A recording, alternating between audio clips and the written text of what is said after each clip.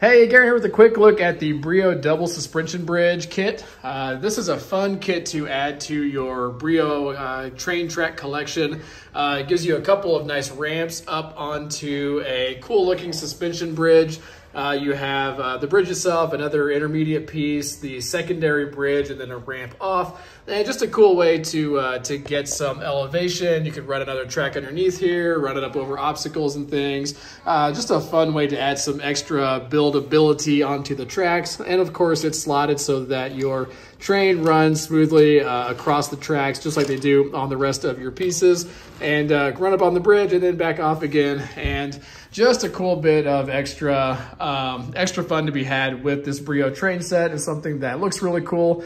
Uh, seems pretty durable, just like the rest of the kit, and is a lot of fun to build and play with.